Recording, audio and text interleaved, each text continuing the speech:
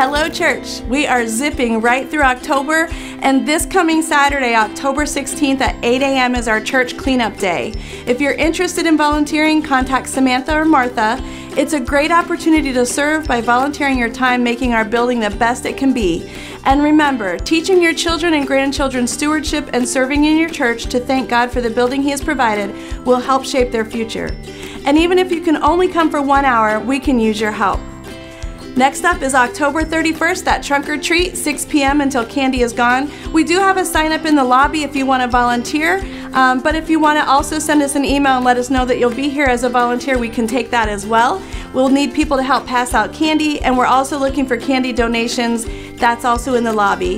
If you'd like to donate, just drop it off at the table. If you want to volunteer, then get a hold of me or Samantha.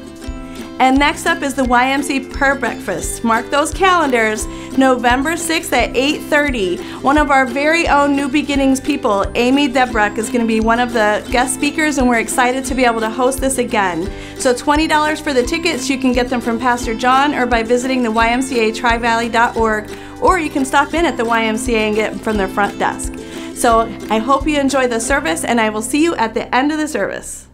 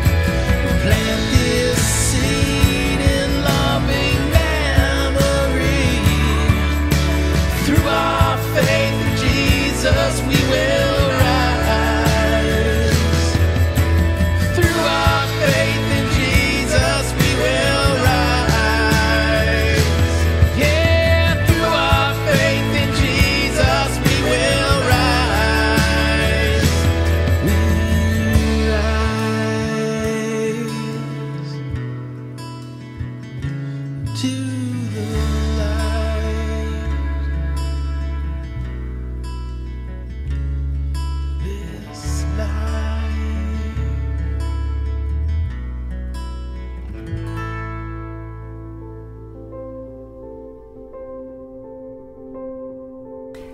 not conform to the pattern of this world, but be transformed by the renewing of your mind.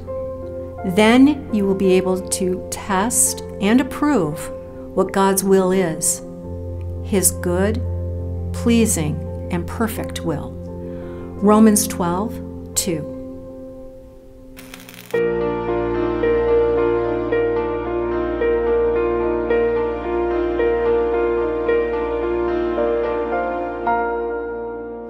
Well, today we get in our second message in this uh, in this series called uh, "Small Groups, Big uh, Big Gains," and what we're doing in this series, we're looking at what do we gain from joining a small group? What what are the things that we gain by doing life together? And last week we talked about we gain uh, learning experiences by just sharing God's love with people who need help, and uh, we gain as much as those other people gain uh, ourselves as far as knowledge, them as far as their needs. Next week, we're going to talk about gaining support in order to be able to overcome the challenges that we have as far as our life is concerned. It's, in, it's inevitable that we're going to have challenges and crises and things along those lines, and we need other people's support for that. So that's next week's uh, topic. But today, I'd like to talk to you about gaining knowledge, about going in the right direction, going the right way. The first time that Linda and I went to Israel, we were in Jerusalem and we had the morning off. We didn't have to go touring in this place or that place or anything like that. So we decided we were going to go to Hezekiah's tunnel. Now, Hezekiah was the king of Israel in 700 BC. So 2,700 years ago, he was king of Israel, all right? And, and what happened was this he was, um, there was this threat from the Assyrian Empire that Hezekiah felt the Assyrians had come, they pretty much had ravaged Judah, the, the uh, empire, the, the nation that he had, uh, had ruled. And Hezekiah knew that they were going to be coming after him in Jerusalem. Now he had the walls of Jerusalem to protect him, but the deal was is that there was this spring called the Gihon spring, which was outside of the walls of Jerusalem. So in order to have a supply of water, Hezekiah made sure that the Gihon spring was accessible to the people of Jerusalem inside the walls by digging a tunnel, roughly a third of a mile long, out of the bedrock. Well, that's what we wanted to see, and we were all fired up because, you know, this is something you read about in the Bible, but now we get a chance to actually go through it. So, in the brochure that we were reading about it, it recommended that you bring a, flashlight, but we didn't have a flashlight. But I figured, yeah, we'll get one in the in the gift store or something along those lines. So, we make it to the the um, tunnel entrance. And because it was rather early, the gift store wasn't necessarily open. But I was thinking, you know what? They got to have some lights in this place. I mean, it's a tunnel a third of a mile long. There's got to be lights in it. Well, it turns out there's no lights in it, okay? Go 15 feet into the tunnel. It is as black as black can be. I had my hand right up to my face. I couldn't see my hand. It was so black in there. It was so dark. So what I was doing was I was I was going back and forth, back and forth because it could it wasn't a big tunnel. You you could feel the walls on either side. So I was going back and forth, and Linda had her hand on my on the belt on the back of my back, okay, on the backside, and we were kind of going through the tunnel and there was water going through, you know, over our feet and everything like that. It was really pretty creepy. And then all of a sudden, I start feeling there was a split in the tunnel. There's actually becoming two different tunnels, two different directions. And I'm going, oh my gosh, I don't know what's going to happen. This is a maze down here. I thought it was only one tunnel. This is going to be a maze. I'm going to get caught down here. And I was freaking out. And long story short, I was freaking out. And I came to my senses and I basically said, I got to I got to pull the trigger. I got to go one way or the other. So I decided I'd go left. Well, I go left, and about 30 feet down the down that particular tunnel, we come upon an archaeological dig. It actually was uh, the Canaanite cave that the Canaanites, before the Israelites uh, in, in Jerusalem, they they gained water through the Canaanite well. It was pretty cool watching them dig and everything along those lines, but we knew we had to go back in the tunnel because that was the only way back to the outside, and we couldn't go through the archaeological dig. Okay. So I get my, my courage up, go back into the tunnel, get creeped out because of the water going over my feet and everything like that while I'm trying to trying to figure out where I'm going. And lucky for us, we see a group of people coming through the tunnel just at the point in time we got to that that split in the tunnel.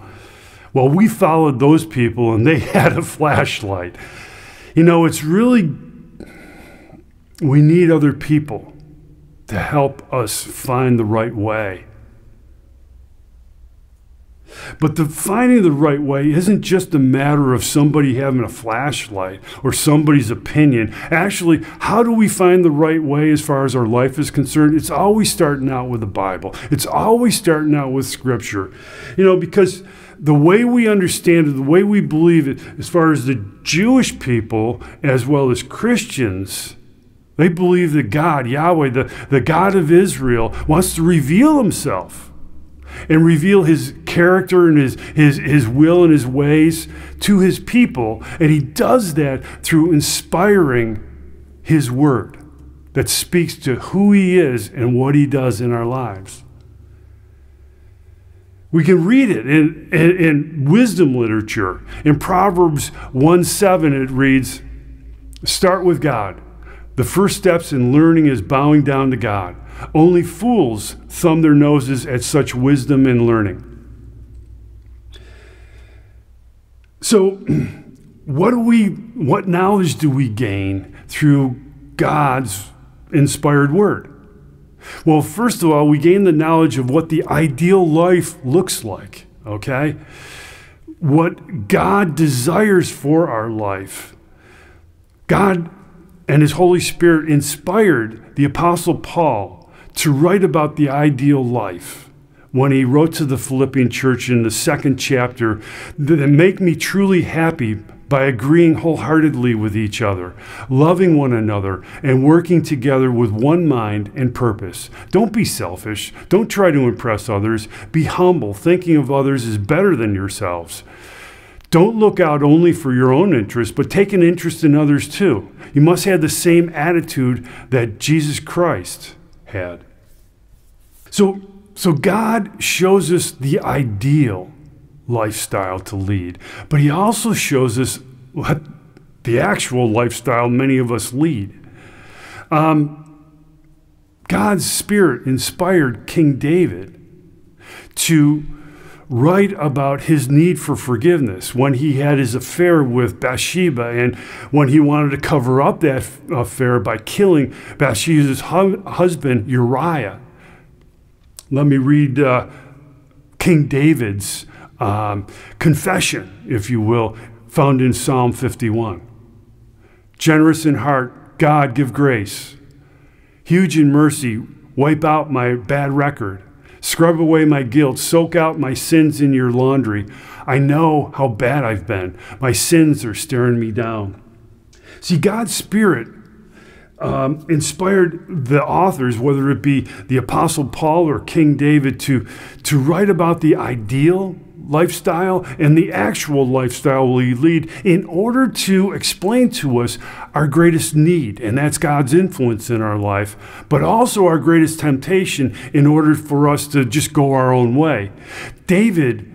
King David wrote about this in Psalm 14. Let me read it for you Psalm 14, 2 and 3. God sticks his head out of heaven. He looks around. He's looking for somebody not stupid, one man even. God expectant, just one God ready woman. He comes up empty, a string of zeros, useless, unshepherded sheep, taking turns pretending to be shepherd. The 90 and 9 follow their fellow. You know, God inspired his, his writers to write the scriptures, but he also inspires those who read what has been written in scripture. You know, the, the first church that I had gone to, we had uh, pretty much regularly every summer, uh, we went to camp.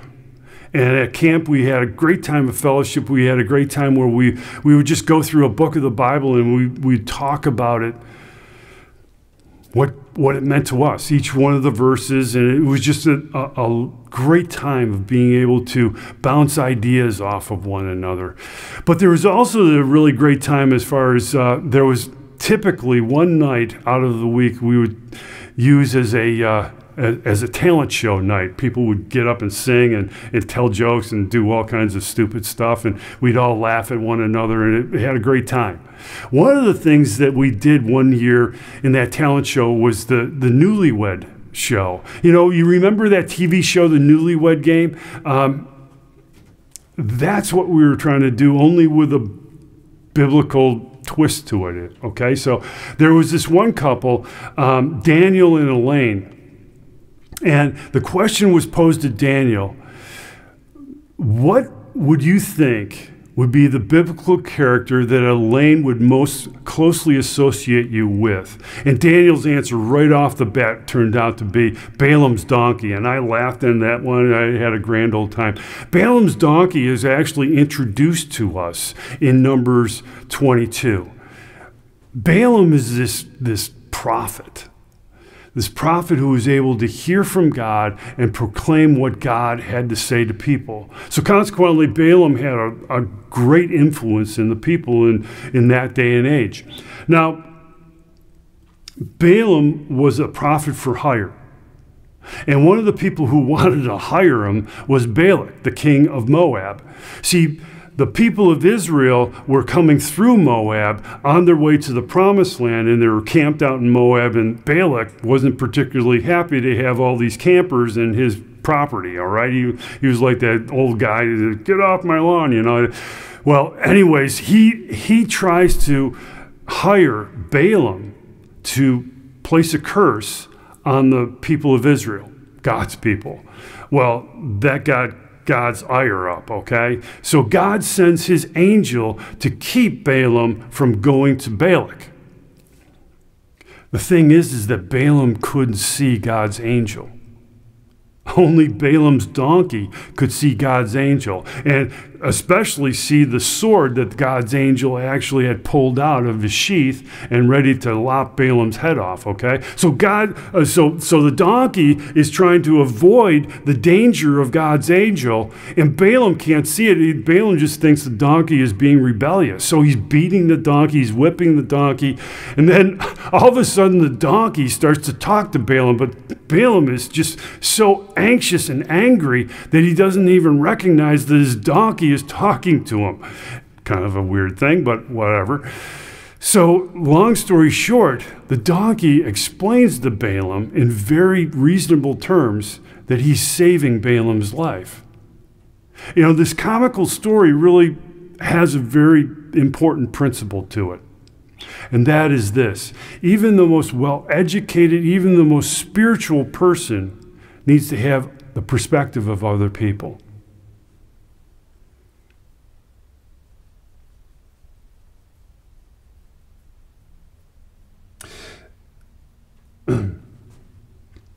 Apollos was tremendously gifted as far as an orator in the New Testament. He was probably, in his day and age, the best speaker in the church, in Christianity. Apollos needed Priscilla and Aquila's input into his life. Let me read it for you. It's found in the 18th chapter of Acts. A man named Apollos came to Ephesus. He was a Jew born in Alexandria, Egypt, and a terrific speaker, eloquent and powerful in his preaching of the scriptures. He was well educated in the way of the master and fiery in his enthusiasm. Apollos was accurate in everything he taught about Jesus up to a point, but he only went as far as the baptism of John. He preached with power in the meeting. When Priscilla and Aquila heard him, they took him aside and told him the rest of the story. So, uh, Apollos, we can see in this passage, Apollos came from Ephesus. Uh, excuse me, uh, Alexandria. Alexandria had the school of rhetoric there. It was the most important school of rhetoric within the Roman Empire. So, more than likely, Apollos was somehow educated or at least initiated as far as an education in this school. So, he was extremely gifted as far as his ability to be able to preach and teach and, and speak. The second thing Apollos we understand from this is he was born a Jew. And by consequence, he was, he was um, steeped in the scriptures.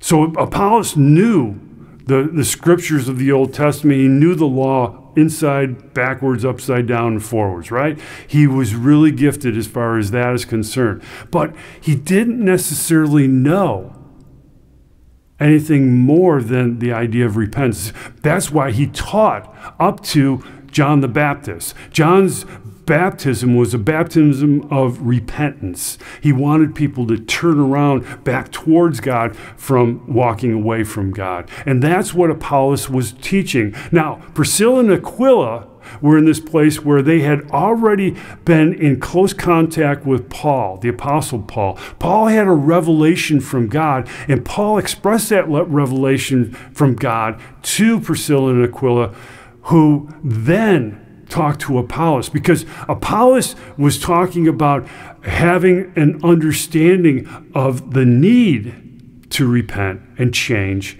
but he didn't understand how accurately. That's where Priscilla and Aquila was able to help him out with the Holy Spirit being the agent of transformation. And that was the thing that allowed Apollos to go from the uh, very uh, Jewish mindset where he pretty much was teaching about conformity to the law, being conformed from an external force to transformity through the Holy Spirit transforming and changing the heart inside out. That was Apollos' story. A very gifted speaker in his time. But perhaps the, the greatest speaker in the church history was Augustine of Hippo. But even Augustine had his journey in which he had to learn that which he could articulate eventually. See, Augustine was raised a Christian by his mother, Monica, but he fell away from the faith when he was an adolescent. And he pretty much was ripping and running. He, he, he took on a mistress. He lived with her like seven years, as I recall. They had a child, a, a son together. Um, yeah, Augustine was pretty much doing his own thing, going his own way. Wasn't following anything in the way of any kind of Christian lifestyle. But he had that, that teaching that his mother had, had spoken to him and taught him in an early age, and that was gnawing at him. So consequently, Augustine refound a faith when Mani, a prophet who, uh, who spoke about this inner enlightenment in the heart and mind of every human being, being able to only access that enlightenment through severe asceticism. That's just denying self. Um, and, and so Mani's teaching really resonated with Augustine based upon the idea he knew he was living a reprobate life and he knew he needed to change.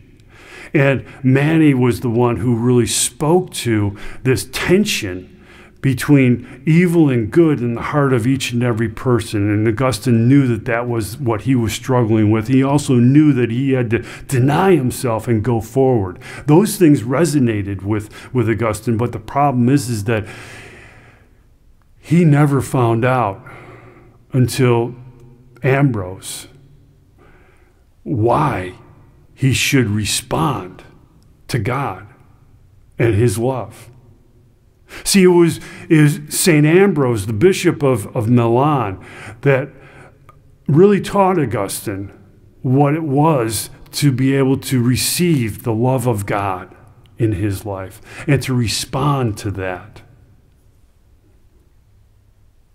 See, Augustine wanted to, he wanted to live a, a purposeful and virtuous life, but it was only Ambrose who allowed him to understand why he should live that, that type of lifestyle. And that's just out of responsiveness to God's love. And these these principles that um, Ambrose instilled in Augustine actually consolidated and became values. And as Augustine became uh, more and more um, involved with the church and church um, understanding as far as God's will and ways in the world and in hearts, Augustine actually used his, his considerable rhetorical skills to argue with a guy by the name of Pelagius. Pelagius was this priest from England who, who basically said, um, God has given us everything we need with the law. It's going back to Apollos and understanding that we can gain our salvation by our own means. We don't need divine grace, and that's according to Augustine and according to just about everybody else as far as Christianity is concerned, is absolutely key. You know, we need one another. Even the most gifted person needs other people. Today, there are tons of people who have opinions. And I'm not saying that we need to listen to everybody's opinion. But for those people who have a perspective from Scripture, because you got to start with Scripture. If for those people who have a perspective from Scripture, that offers us a better understanding of understanding of, of what God has for us as far as a clear understanding. You know, this this i this is an iPhone 12. I guess there's an iPhone 13 these days, but I got an iPhone 12. That's good enough for me. But this iPhone 12, when I got it, I was amazed that it has three lenses, three actual cameras built into it. And what they do, I Apple uh, advertises it as being superior to the earlier iPhones because of the multiple lenses gives a clearer understanding or a clearer picture that you can take. The same thing pertains to perspectives of, of, of Scripture. We start with God. Wisdom always starts with God, but we need one another to allow us to be able to have a better understanding of perspective of what God is trying to convey. Because God guides through a group. Or, as our takeaway says, knowledge comes from God's word, meandering through the interpretation of God's people. As far as next steps are concerned, I offer to you four of them, like I usually do. You can return next Sunday, uh, or next week, I should say. And we're going to be talking about uh, gaining uh, support from other people in order to overcome the challenges as far as life is concerned. You could uh, find out about uh, um, life groups. Um, just commit to find out about what life groups are open as far as uh, NBCC. You can uh, you can go to our website nbcc.today and find out about them. You can sign up for a life group uh, at nbcc.today. So um, you can you can get involved with a life group even today, or you could uh, commit to start or host or or or just lead a life group. I don't know what the next step with you might be as far as this this is concerned, but I know you got a next step. And I know that you can find a lot of help in understanding the Bible better when you have other people's perspectives and you can bounce that off. And that's what life groups give. Please join me in prayer. Father God, we give you thanks. We thank you so much because wisdom always begins with you, begins with your word. But so many times we get into the place where we miss the memo, we miss the message based upon the idea we just have one perspective. And although it might be a good perspective, it's always better when we have another perspective. Help us to be able to understand this premise. Help us to be able to embrace this and help us to go forward in this for your glory. In the name of Jesus, amen.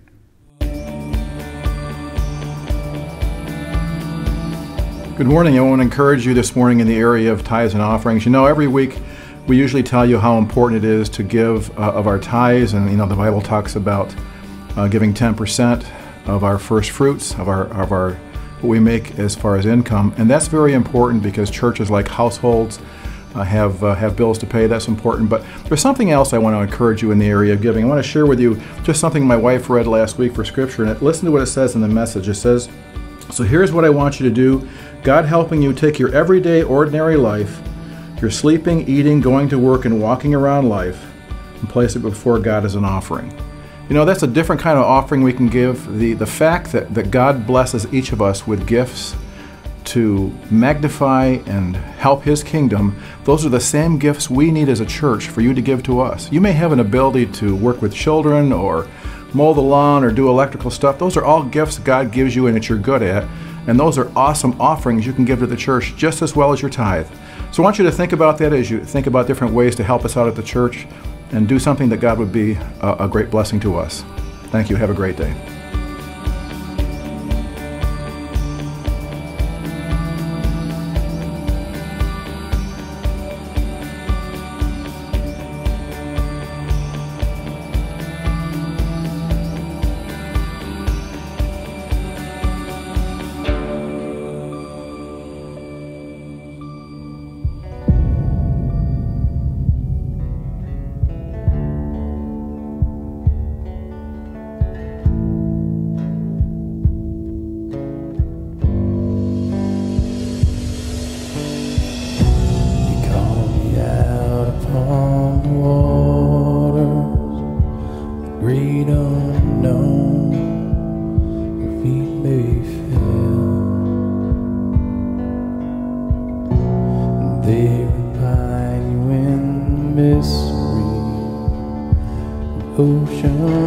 Deep, faith will stand.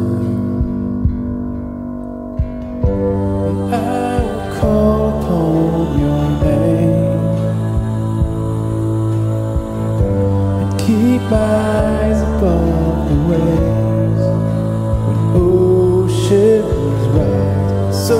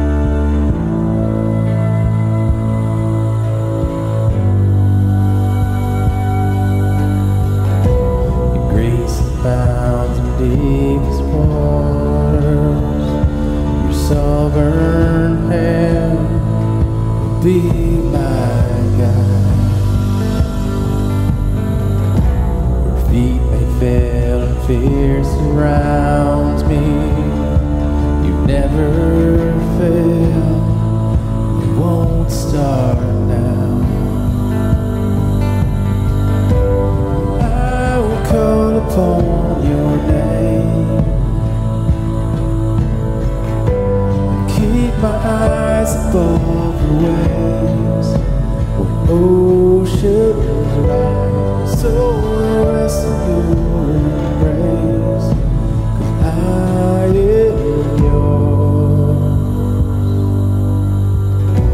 Spirit, lead me where my trust is without borders. Let me walk upon the waters wherever He would call me. Take me deeper than my feet could ever wander. My faith will be made stronger in the presence of my Savior. Spirit, lead me where my trust is without borders. Let me walk upon the waters wherever you would call me. Take me my could ever wander. My faith will be made stronger in the presence of my Savior.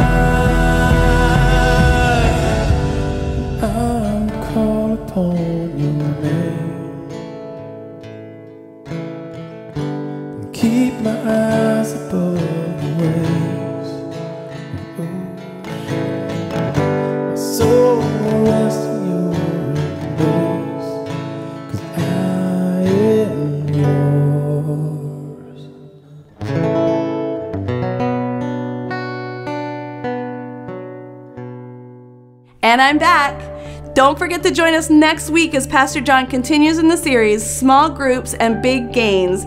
And like I always say, don't forget to like and share the service on Facebook and YouTube. Have a good week. YMCA of the Greater Tri Valley presents Seventh Annual Prayer Breakfast. Inspiration comes cement. This year's featured guest speakers include Arthur Akins, Amy Debruck, and national recording artist Brooke Robertson. Hey, it's Brooke Robertson. I cannot wait to see you guys at the YMCA of the Greater Tri Valley's annual prayer breakfast held on November 6th, 8:30 to 11 at New Beginnings Community Church. I'm coming up from Louisiana and I am so excited. I hope you guys are too. See you very soon. Join us November 6th for the 7th Annual YMCA Prayer Breakfast at New Beginnings Community Church in Wampsville. Tickets are $20 each with all proceeds benefiting the Wise Changing Lives Scholarship Fund. See you there!